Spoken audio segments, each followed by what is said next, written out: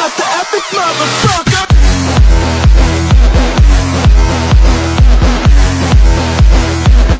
What is going on, guys? My name is Lanside101. Today I'm going to be bringing you guys another gameplay commentary. And today, the gameplay we'll be taking a look at is a little league action in Black Ops 2. If you guys don't know what leagues are, leagues are the newest thing they put in Black Ops 2, and that's what I'm going to be talking about today in this commentary. Breaking down what's bad for them, because this is a test trial. Hopefully somebody will see it, share it, and hopefully get the things fixed that I stated in this video. And anyways, I'm going to jump right into it. First, I'm going to break down the gameplay, and the gameplay is on the map. Actually, I have no clue what the map is. I do not know what the maps are in Black Ops 2 yet. I used a couple wide variety of guns in this gameplay, but it's actually a great gameplay. One thing that was bad about is we got matched up against people in a tier higher than us, so it was a very hard-fought game, and I'm not going to tell you who won. It's a little mystery for the end.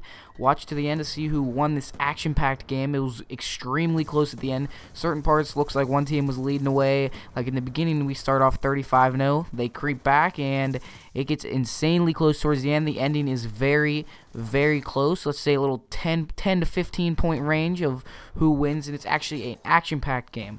But anyways, guys, I'm going to jump right into it. And the first thing wrong with leagues is the matchmaking. The matchmaking in Black Ops 2 League is very poor, actually, because when you get in tiers, after you take your five ranking matches, you have to take five matches with your team that you have the team. You have to make a team, obviously, in the beginning, a league team, and get your four players. League teams are only up to four, so you'll see in this thing, it's kind of like team tactical gameplay, and it's pretty much just a mosh pit of random games when you go in. But anyways, your team, you each five placement games with your team, and if you win the game, you have to try and win all five of those games. And we actually only won four out of the five games. We sadly got demolished the fifth and final game of the league matchmaking, the little uh, thing in the beginning that you have, and it was a very hard fought game once again. But we did get, they did pull away from us, and they did obtain the win, and it was kind of depressing. But we carried on in the platinum division, and you'll see that we're still currently in the platinum division, ranked 25 in the world in the platinum division.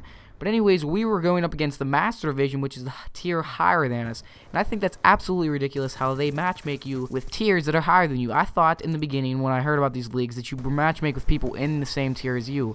Well, I guess that's not the case for leagues anymore. I hope they get this fixed because this is the trial version for leagues. I think the real stuff starts December 1st, so I hope they change that because I do not want to be versing people in the Masters. These people we're versing were all in the Masters, which is the highest tier you can get. So they won 5 out of their 5 of their placement games, and that is pretty ridiculous, and we were a very hard fought, hard fought game.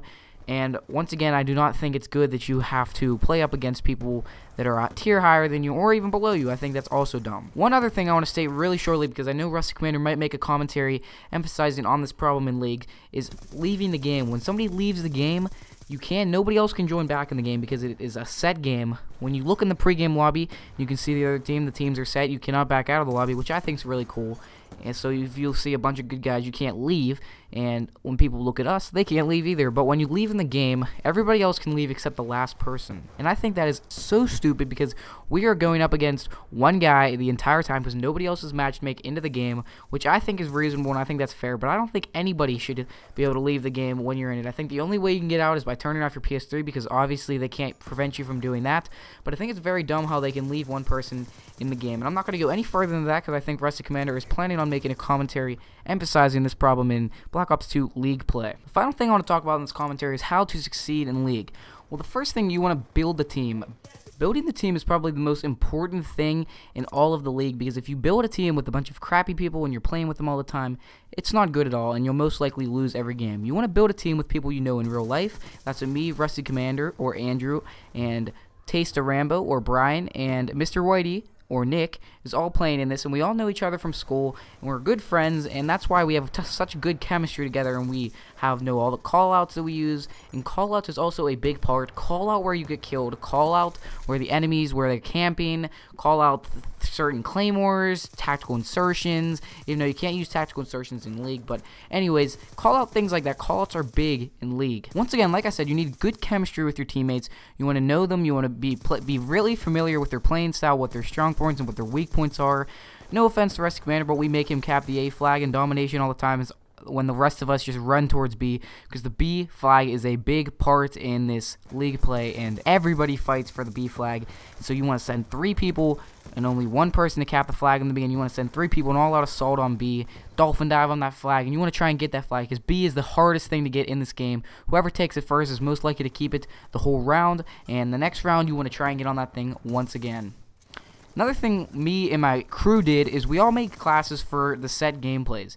You want to play League a little bit and get used to what gameplays there are. We know that there's hard point, capture the flag, search and destroy, demolition, and domination and there might be other gameplays. We have not played it too much, but you want to make sure you know all of the gameplays so you can make classes for all of them. I have five custom classes. You won't be able to see it in this gameplay because this gameplay is recorded from theater mode, but I have five custom classes, and they're all made for separate game types, and they're all customly made for what game types because if you guys don't know league you can make any class any gun any perk you have them all unlocked when you go into league so that's a really cool thing they added to because nobody's really overpowering anybody with better guns and better perks and things like that Another thing you want to do is make sure you work with good with kill streaks. If you have someone on your team who's really good at getting high kill streaks, make them run high kill streaks such as the Hellstorm missile and things of that nature so they can help you get off the flag. There's little stealth helicopters VTOL warships maybe, but you don't want to go too high with the kill streak. You want to keep it simple, and you want your whole team to run UAV, counter UAV, and third kill streak is up to you. But in my opinion, that is the best thing to do in league play because if you have counter UAVs and UAVs up the whole time, you're most likely going to win. Most people use ghosts in league, but once again, some people don't, and you have a huge advantage over the teams that don't use ghost. The third and final thing you want to make sure you do is use Flak Jacket for objective team-based games. Yes, I'm calling out a perk for one single thing to do, but using Flak Jacket is huge for games like Domination, even Search and Destroy. When you're running around, you don't want to die by those grenades, and you don't want to die by things like that. Anyways, guys, I hope you enjoyed this gameplay commentary. Go check out the league play. I've been having a blast with my friends playing it. It is absolutely awesome. Anyways, guys, hit that like button if you enjoyed, and possibly that subscribe button if you're new around here. Anyways, guys, remember to keep it elite.